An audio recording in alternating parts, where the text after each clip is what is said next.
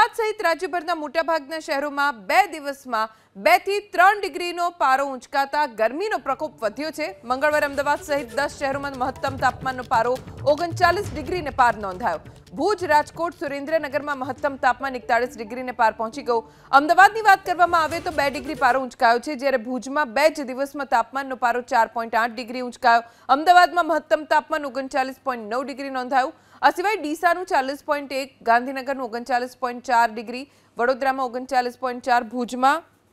એકતાળીસ point છ Kandla airport પર ઓગણચાલીસ અમરેલીમાં ચાલીસ પોઈન્ટ ચાર રાજકોટમાં એકતાળીસ પોઈન્ટ એક અને સુરેન્દ્રનગરનું મહત્તમ તાપમાન રહ્યું એકતાળીસ ડિગ્રી